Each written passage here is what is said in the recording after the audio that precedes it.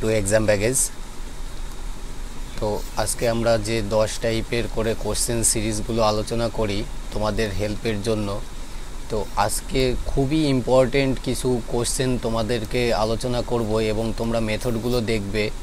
অন্যান্য কোনো জায়গায় তোমরা কিছু কিছু অঙ্কের মেথডগুলো পাবে কি না আমার জানা নেই। তবে দেখো, শুরু থেকে আশা করছি তোমরা নতুনত্ব কিছু শিখতে পারবে। তো চলো ক্লাসটি স্টার্ট করি। কোশ্চেন নাম্বার ওয়ান এক ব্যক্তি প্রতি মাসে পঁয়ত্রিশশো টাকা ব্যয় করে এবং সঞ্চয় করে তার রোজগারের সাড়ে বারো পারসেন্ট। ব্যক্তিটির মাসিক রোজগার হলো।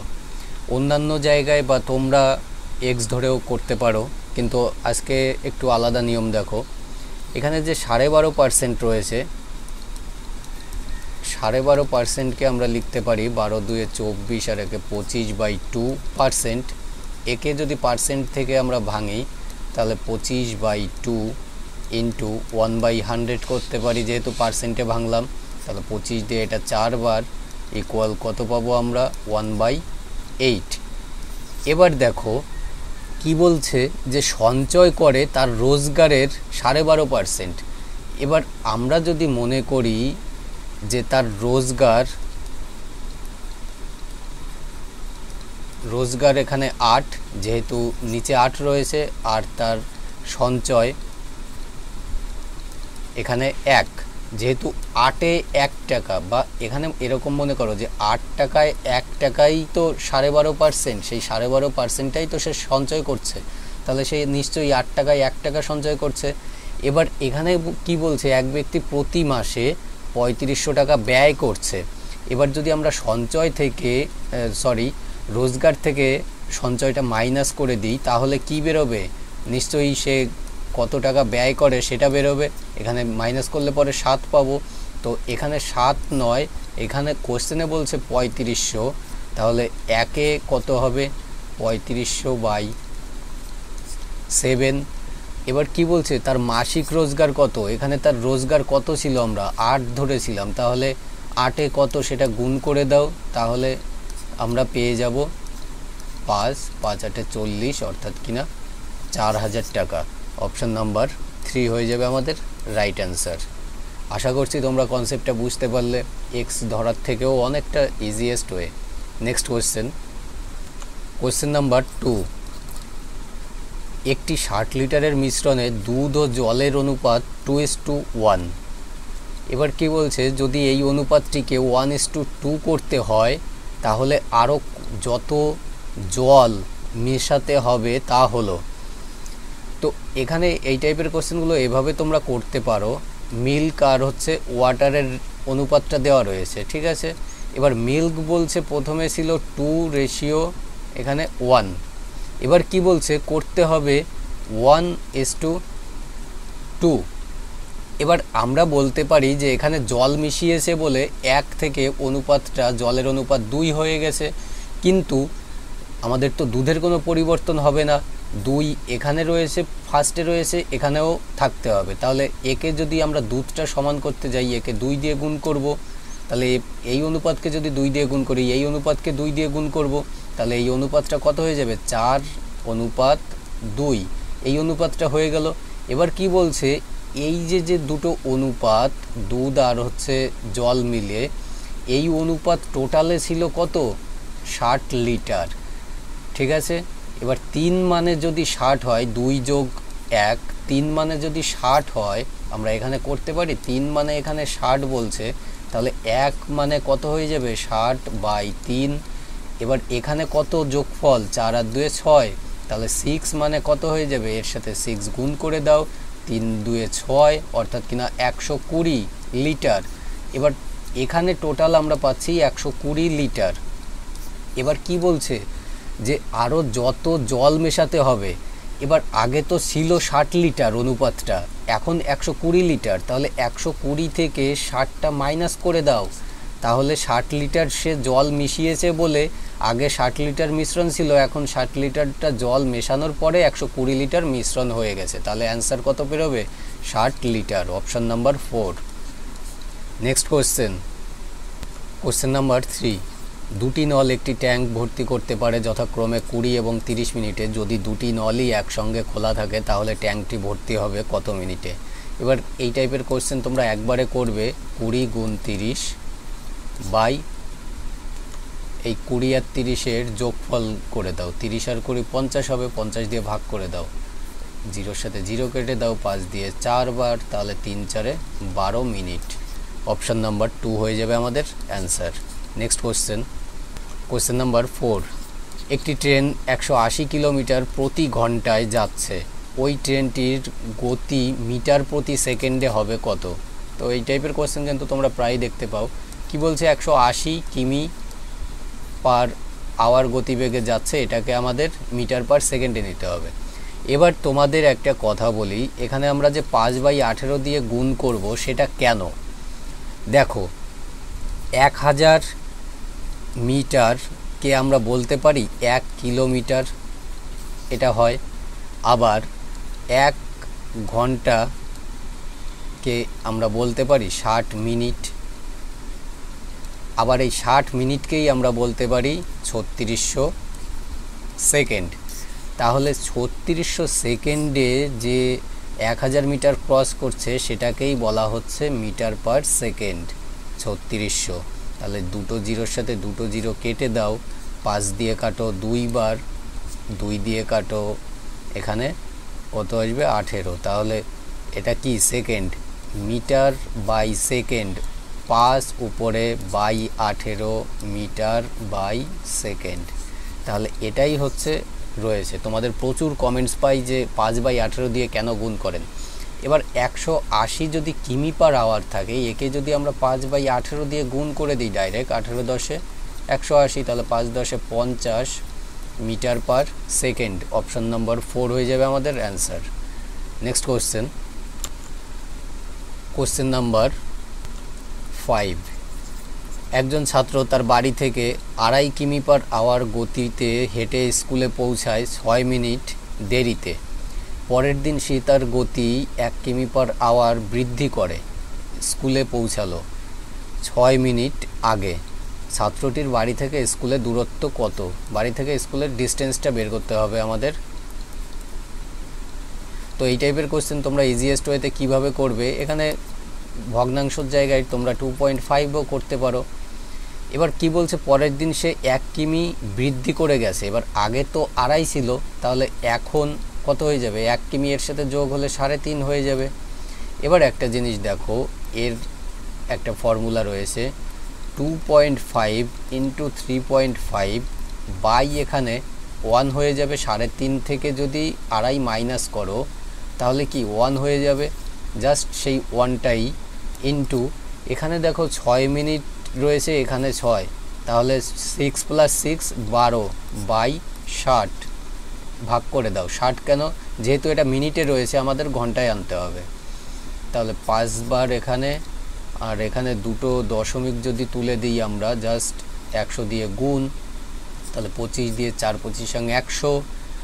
এবার এখানে পাঁচ দিয়ে পাঁচ সাথে পঁয়ত্রিশ, কত পড়ে থাকছে? সাত বাই চার কিমি। তাহলে সাত বাই চার অপশান নাম্বার টুতেই রয়েছে, আমাদের অ্যান্সার হয়ে যাবে। কোশ্চেন নাম্বার সিক্স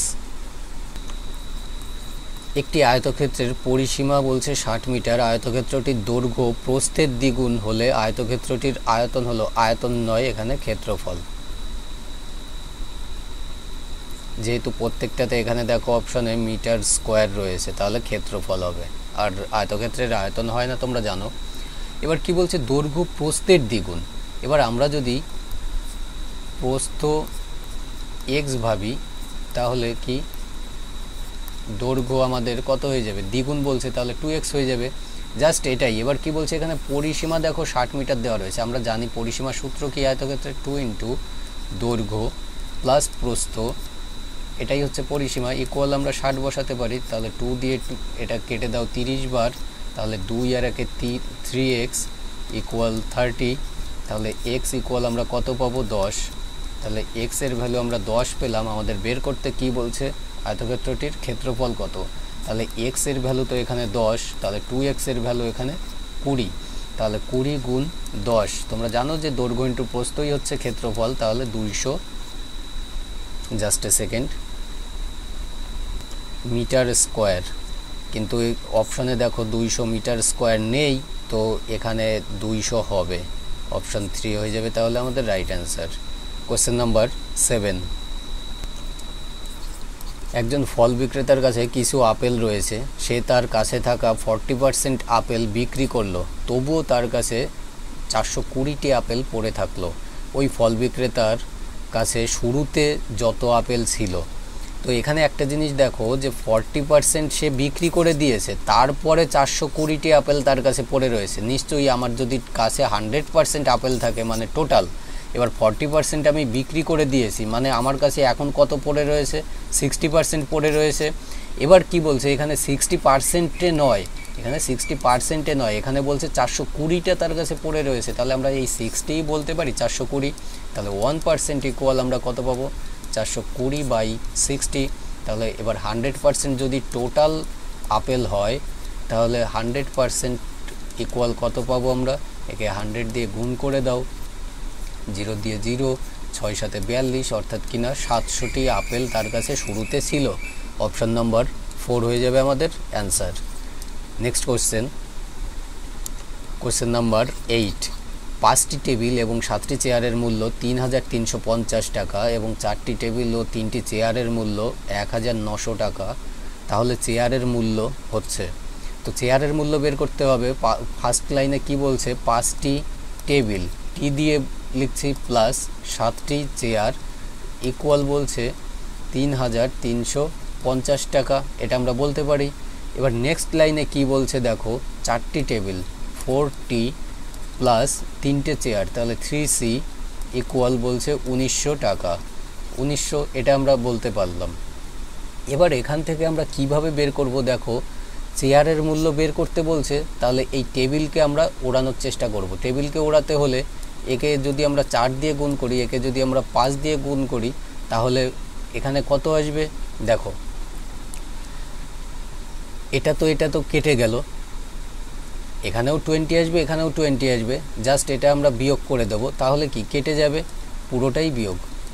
এবার এখানে দেখো, চার সাথে আঠাশ সি এখানে পাঁচ দিয়ে তিন থ্রি সিকে যদি আমরা গুণ করি, তিন পাঁচে পনেরো সি এটা ইকুয়াল একে চার দিয়ে গুণ করো। শূন্য, চার পাঁচে কুড়ি শূন্য, হাতে দুই, তিন চারে বারো আর দুয়ে চোদ্দ চার, হাতে এক, তিন চারে বারো আর একে তেরো। আর এখানে যদি একে পাঁচ দিয়ে গুণ করি, তাহলে পাঁচ উনিশং পঁচানব্বই, দুটো জিরো বসিয়ে দাও। এবার কি বিয়োগ করব আমরা আঠাশ থেকে পনেরো? তাহলে থার্টিন সি ইকুয়াল এখানে তেরো হাজার চারশো থেকে ন হাজার পাঁচশো যদি আমরা মাইনাস করি, তাহলে জিরো জিরো নয়ের পাঁচ চোদ্দ নয়ের এক দশ, তিন। এটা থাকে তেরো দিয়ে এটা কেটে দাও তিনবার, তাহলে চেয়ার ইকুয়াল তিনশো।